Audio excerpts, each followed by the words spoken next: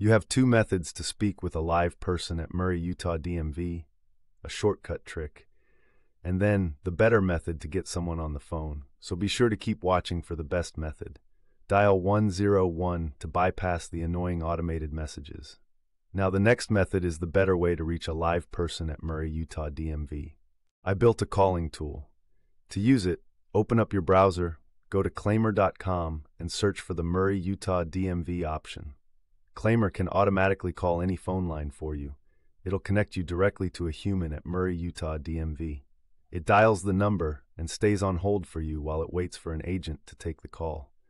When it detects an agent, it'll send the call to your phone. And here is Claimyr sending me a call back from Murray, Utah DMV with an actual agent on the line.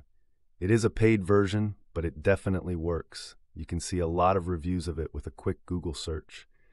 Let me know in the comments how it worked for you.